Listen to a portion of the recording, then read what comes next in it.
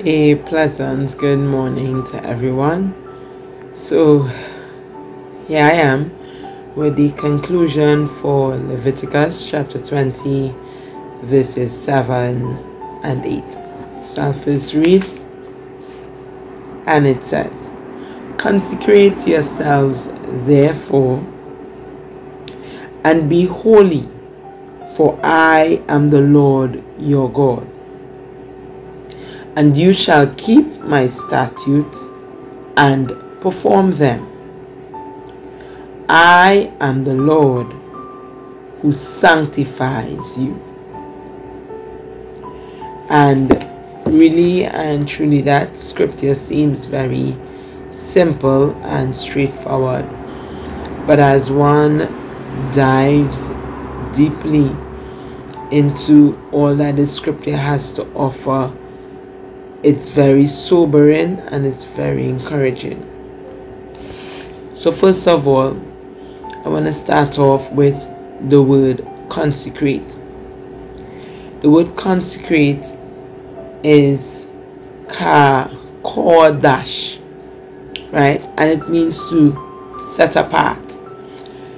And imagine God is telling us to set ourselves apart right? He's he's literally telling us that we have a responsibility. And you see, when we set ourselves apart, it is an active thing. We take certain actions that speaks to ourselves and the world. It says we are not like the world.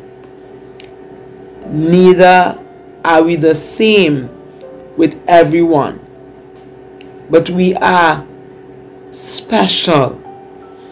Every individual is special with a special purpose. And rather, we think that we are just like somebody, we should think we should know that we are special and we must seek for that special purpose which God created us for. We should turn away from evil, turn away from things that will cause us to be dirty, that will cause us to be common, that will cause us not to do or not to fulfill a special our special purpose. The next word we want to look at is holy, right? Because it says, consecrate yourselves and be holy. And the word holy is kodosh, kodosh, right? And that one is an adjective. While kodash, which is consecrate, is a verb which is telling you the action Kodosh, the adjective which is holy, is telling you this is who you are. Right? So it's saying put yourself apart for special use because you are holy. So it's not that you're trying to do good things to make yourself holy. Through Christ, we are holy.